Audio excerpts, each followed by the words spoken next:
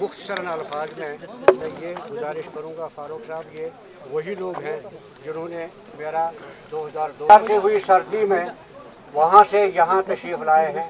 बहुत एक किनारे पे मैं एक किनारे पे फारूक साहब। एक्चुअली आज फारूक साहब कहता हूँ कि आप ग्रो करते हैं और आई फर्मली बिलीव कि महबूबा जी बहुत ग्रो कर चुकी हैं। शायद मेरी सोच की परवाज़ उनकी सोच तक नहीं पहुँच पा रही है। सो मैं उनको क्यों डिस्टर्ब करूँ बार बार दैट्स वाई से कि I don't want to be disrespectable towards her so as as a mark of respect I have left the party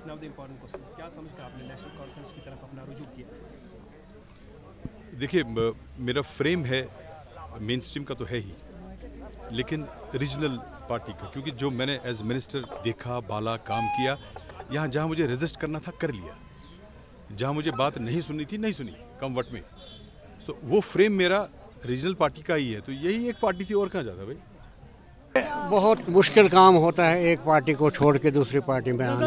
मगर मगर मगर मगर मगर हालात एक्सट्रीम लेवल पर पहुँच जाते हैं। एक्सट्रीमली कंपल्सिव मटीरियल हालात जब पहुँच जाते हैं तो इन- इंसान मजबूर हो जाता है एक पार्टी को छोड़ना।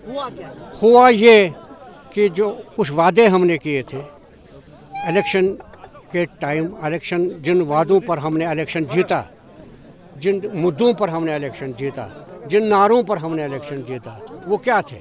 वो ये थे कि पीडीपी को जिताओ, बीजेपी को हटाओ, बीजेपी को रुकाओ। मगर जब हम, जब लोगों ने हम हम पर यकीन किया, लोगों ने हमको वोट दिया, लोगों ने हमको सिंगल लार्जेस्ट पार्टी दे दी तो उसके बाद हमने क्या किया? एंट्री बीजेपी की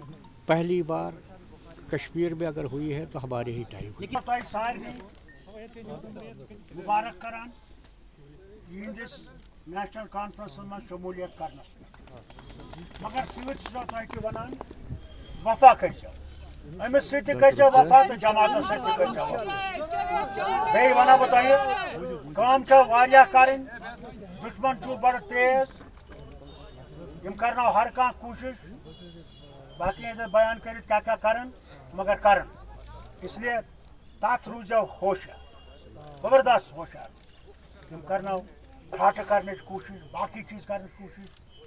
दिन वाले रोपये वारिया तम छकन रोपये आसमान किनत तम सात कर ईमानस थप बुझ यह। थो याद बहुत मुबारक करान तोह मुबारक कर।